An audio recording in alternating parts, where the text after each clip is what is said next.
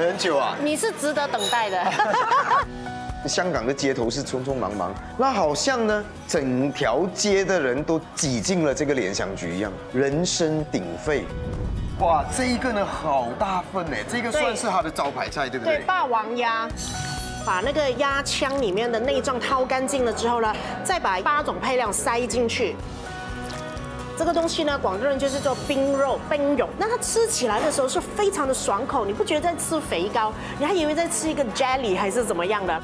哇，还有这一道，看起来好像很西式的一个料理这样。那这一次呢，我是第一次品尝这个鸡蛋蒸鱼肠哦，然后真的是可以体会得到粤菜师傅如何将那些下蓝货。把它转化成为可以端上台面上，而且又很好吃的一些菜色。我们经常说茶楼是一盅两件啊，一盅嘅盅係咩咧？就係呢個茶盅啦。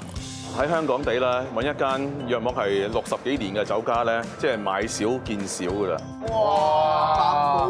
八寶鴨嚟啦！八寶鴨係真係十大嘅功夫菜嚟嘅，唔係間間酒樓都有。這一道炸大肠呢，它其实是傳統的客家懷舊嘅菜式。嗰個熱水啦，同埋嗰啲白胡椒啦，索咗一個雞，嗰味道咧浸咗一陣。烏冬肉咧就係瘦嘅，生炒骨有少咗骨，有啲咁多肥。六十年前已經有㗎啦。貴妃豆腐，飛豆腐好食好多，我哋葡萄自製。像这样子的香港茶楼酒楼的那一种古早味的氛围，其实搞不好再过几年，你可能已经很难感受得到。